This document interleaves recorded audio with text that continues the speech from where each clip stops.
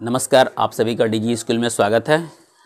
आज हम लोग सातवां क्लास का गणित जो हम लोग पिछले वीडियो में भी पढ़े हैं, इस चैप्टर को, एक एक नियम, हम लोग क्वेश्चन नंबर फोर तक हम लोग किए थे। आगे हम लोग उसको बढ़ाते हैं। वो जैसे हम लोग जानते हैं, एक एक नियम यूनिटरी मेथड में कि पहले एक वस्तु का निकालते हैं मूल्य, उसके बाद फिर हम लोग आगे का काम करते हैं। जितना भी निकालना होता है, जितना का भी मूल्य निकालना हो, फिर हम लोग उसका निकाल लेते हैं। तो हम लोग क्वेश्चन नंबर फोर तक किए थे। क्वेश्चन नंबर फाइव आपके लिए छोड़ दिए हैं। आप उसको बना के देखिएगा। तो हम अभी यहाँ पर जो भी बनाएँगे तो एक एक दो दो क्वेश्चन बना करके आपके लिए कुछ कुछ क्वेश्चन को छोड़ते जाएँगे, जिससे आप उसको देख करके बनाने का कोशिश कीजिएगा। आइए हम लोग क्वेश्चन नंबर छः शुरू करते हैं। एक बस पैंसठ किलोमीटर की दूरी तीस मिनट में तय करती है। एक सौ उनहत्तर किलोमीटर जाने में उसे कितना समय लगेगा? तो सबसे पहला चीज़ हम लोग देखेंगे कि हम लोग से पूछता है कितना समय लगेगा। तो जब भी हम लोग लाइन जो लिखेंगे सेंटेंस उस सेंटेंस में समय को हम लोग राइट साइड लिखेंगे। जो फाइंड करना होता है, उसको हम लोग लास्ट में लिखेंगे। तो जैसे हम लोग यहाँ पे लिखेंगे, चूँकि पैंसठ किलोमीटर दूरी तीस मिनट में।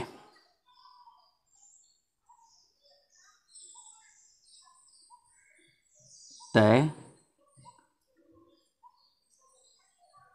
करती है। इसलिए एक किलोमीटर। दूरी कितना मिनट में तय करेगा? तो तीस बटा पैंसठ। ये इतना मिनट में तय करती है। ठीक है? अब हम लोग देखते हैं क्या? वो बोला है एक सौ उनहत्तर किलोमीटर। तो हम लोग यहाँ पे लिखेंगे, इसलिए एक सौ उनहत्तर किलोमीटर दूरी तीस बटा पैंसठ इंटू एक सौ उनहत्तर। यहाँ जो भी आएगा ये मिनट होगा ये। मिनट में तय करती है। तो हम लोग इसको सॉल्व कर लेंगे हम लोग। इसको काटेंगे हम लोग ना। तो हम लोग देखते हैं तेरह से। तेरह पचे पैंसठ। इसको तेरह से काट लेंगे। तेरह एकम तेरह तेरह तीन उनचालीस। फाइव, पाँच एकम पाँच पाँच छत्तीस यहाँ हो गया सिक्स इंटू तेरह बराबर सेवेंटी एट मिनट। इसको हम लोग लिख सकते हैं एक घंटा अठारह मिनट। मतलब इसको हम लोग ऐसे लिख दो, साठ प्लस अठारह। तो साठ मतलब कि एक घंटा अठारह मिनट। ये हो गया हम लोग का आंसर। यहाँ क्वेश्चन नंबर आठ देखते हैं। एक माचिस के डिब्बे में पच्चीस तिलियाँ हैं। ठीक है? हम लोग यूनिटरी मेथड या एक एक नियम में हम लोग को पता है कि पहले एक का निकालना पड़ता है। यहाँ एक का दिया हुआ है और पूछता है, तीन माचिस के डिब्बों में तिलियों की संख्या कितनी होगी? तो संख्या किसका पूछता है? तिल्ली का। इसलिए जो हम लोग जो सेंटेंस लिखेंगे यहाँ पर, ये लिखेंगे चूँकि एक माचिस के डिब्बे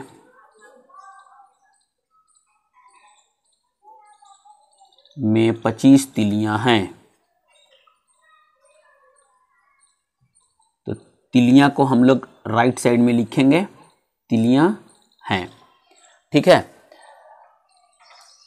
अब हम लोग यहाँ पे ये एक का दिया हुआ है। अब तीन का पूछता है तो हम लोग को यहाँ पर एक का निकालने का तो आवश्यकता है नहीं।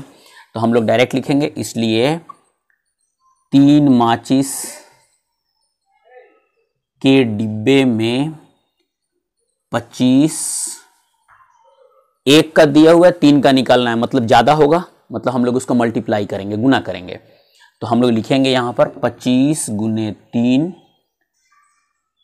तिलियाँ हैं। तो ये हो गया पचहत्तर तिलियाँ। ठीक है? ये तीन माचिस के डिब्बे में कितनी तिलियाँ होंगी? पचहत्तर तिलियाँ होंगी। ठीक है? तो यहाँ हम लोग देखें, एक माचिस के डिब्बे में पच्चीस तिलियाँ थी, तीन माचिस के डिब्बे में कितनी होंगी? तो एक का दिया हुआ था, तीन का निकालना था। मतलब ज़्यादा तिल्ली का संख्या होगा, ज़्यादा होगा तो क्या करेंगे हम लोग? मल्टीप्लाई करेंगे। इसलिए हम लोग यहाँ पे मल्टीप्लाई किए हैं, गुना किए हैं। यहाँ क्वेश्चन नंबर दस बना रहे हैं।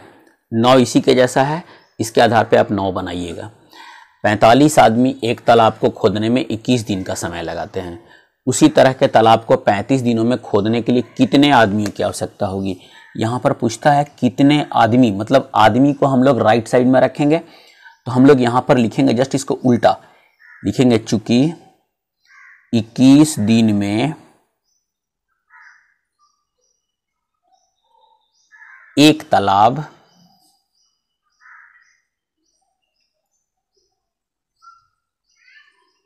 को 45 आदमी खोदते हैं। ठीक है? हम लोग ऐसे लिखेंगे।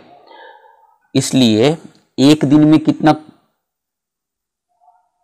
एक दिन में एक ही तालाब को कितना आदमी लगेगा? तो यहाँ हम लोग समझेंगे इस बात को। ये कहता है 21 दिन में 45 आदमी लगता था। एक दिन में यदि खोलना होगा तो आदमी का संख्या को बेसी बढ़ाना होगा हम लोग को, है ना? तो आदमी की संख्या को बढ़ाने के लिए हम लोग को मल्टीप्लाई करना पड़ेगा।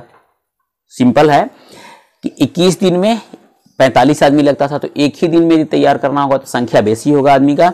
हम लोग लिखेंगे, एक दिन में एक तालाब को खोदने के लिए कितना आदमी चाहिए? 45 गुने इक्कीस आदमी खोदते हैं, ठीक है? अब ये पूछता है, कितना दिन में खोदना हम लोग को? 35 दिनों में। तो 35 दिनों में तो अब ये कम हो जाएगा ना। एक दिन में गुना किए थे 35 दिन में भागा दे देंगे हम लोग। एक तालाब को 45 गुने इक्कीस भागा 35 इतना आदमी तालाब को खोदने के लिए चाहिए हम लोग को। अब हम लोग इसको डिवाइड कर लेंगे मल्टीप्लाई करेंगे, इसको सॉल्व करते हैं। तो हम लोग पहले सात से काट लेते हैं। सात पच्चे पैंतीस सातियाँ इक्कीस, पाँच नवा, सत्ताईस। तो नौ गुने तीन मतलब कितना आदमी चाहिए हम लोग को? सत्ताईस आदमी हमको चाहिए।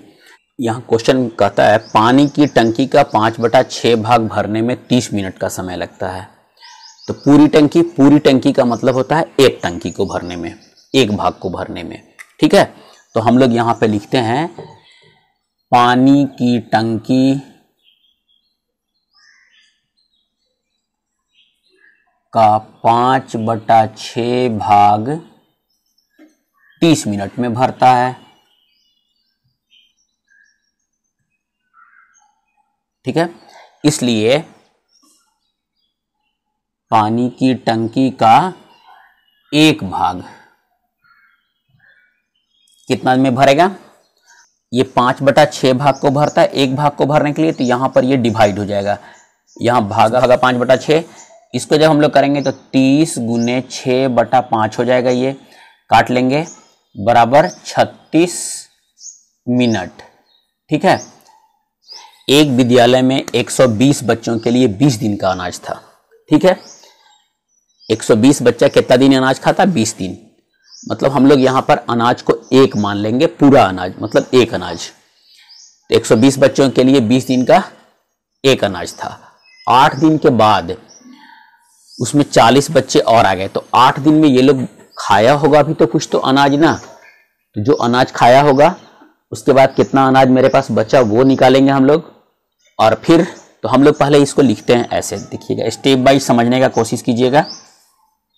पहला कहा 120 बच्चों के लिए 20 दिन का अनाज था। आठ दिन के बाद तो पहले हम लोग देखेंगे, हम लोग निकालेंगे कि आठ आठ दिन के बाद कितना अनाज बचा।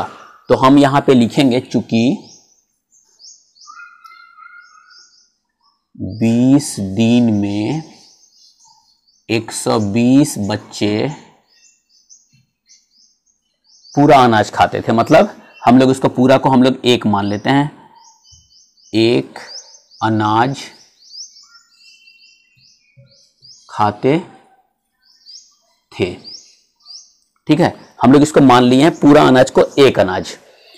इसलिए यदि एक दिन में खाना होगा 120 बच्चा को तो कितना अनाज कितना अनाज खाएगा? तो एक बट्टा बीस हो जाएगा ये।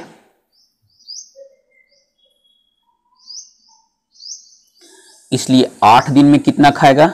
ये निकालेंगे हम लोग। आठ दिन में एक सौ बीस ही बच्चा है। एक बट्टा बीस आठ ऐसे लिखेंगे। इसलिए कि ये जस का तस रहेगा, इससे कोई लेना देना नहीं है। तो हम लोग इसको काटेंगे चार दूनी आठ, चार पचे बीस। बराबर दो बट्टा पाँच भाग जो है, ये इन लोग खा गया अनाज का। ठीक है? अब मेरे पास शेष जो बचा, वही अनाज ना आगे चलेगा। तो हम लोग लिखते हैं शेष अनाज, एक माइनस दो बटा पाँच। तो हम लोग यहाँ पे लिखेंगे पाँच माइनस दो मतलब तीन बटा पाँच भाग, ये मेरे पास बचा हुआ है। क्लियर है? पहले हम लोग निकाले 20 दिन में 120 बच्चा एक अनाज खाता था मतलब एक भाग खाता था। एक दिन में कितना खाएगा? तो एक बटा बीस। आठ दिन में कितना खाएगा? तो दो बटा पाँच भाग खा गया। शेष कितना बचा? तो एक में से दो बटा पाँच को माइनस कर देंगे, तीन बटा पाँच भाग बचा। अब यही तीन बटा पाँच भाग, ये चालीस बच्चा और आ गया। वो मिलके खाएगा। आठ दिन के बाद बच्चों की संख्या कुल कितनी हो गई? 120 पहले से था और 40 बच्चा और आ गया। तो 120 प्लस 40 160 बच्चा हो गया। अब हम लोग यहाँ लिखेंगे, चूँकि 120 बच्चे एक भाग अनाज को अनाज को 20 दिन में खाते थे। खाते थे। ठीक है? इसलिए एक बच्चा एक भाग अनाज को कितना दिन में खाएगा? तो 20 गुने 120 दिन चलेगा ये अनाज। ठीक है? अब मेरे पास बचा 160 बच्चा है। तो 160 बच्चा एक भाग को कितना दिन में खाएगा? तो 20 गुने 120 भागा 160 ठीक है? ये हो गया एक भाग का। अब प्रश्न है, इसको हम लोग पहले काट लेते हैं। ये हो गया मेरा पंद्रह दिन। यदि 160 बच्चा होता तो ये अनाज चलता पंद्रह दिन। अब कहता है क्या कि मेरे पास अनाज बचा हुआ कितना है? तो तीन बटा पाँच है। इसलिए 160 बच्चा तीन बटा पाँच भाग अनाज को कितना दिन में खाएगा? तो पंद्रह गुने तीन बटा पाँच। बराबर नौ दिन। ठीक है? तो 160 बच्चा तीन बटा पाँच भाग को कितना दिन में खाएगा? नौ दिन में खाएगा। फिर से एक बार समझ लीजिएगा, आठ दिन तक वो 120 ठो खा चुका था।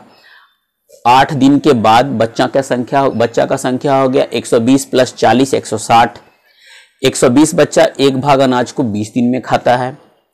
एक बच्चा एक वही अनाज को कितना दिन में खाएगा? तो 20 गुने एक सौ बीस दिन में खाएगा, बेसी दिन में खाएगा। अब 160 तो कम दिन में खाएगा। तो 20 गुने एक सौ बीस भागा 160 कर देंगे। तो ये आ गया हम लोग का सॉल्व करने के बाद 15 दिन। अब 160 बच्चा जो है, तीन बटा पाँच भाग को कितना दिन में खाएगा? तो 15 गुने तीन बटा पाँच। ठीक है? तो नौ दिन और चलेगा ये अनाज। हम आशा करते हैं कि ये शायद आपको समझ में आया होगा। कमेंट बॉक्स में लिखिएगा।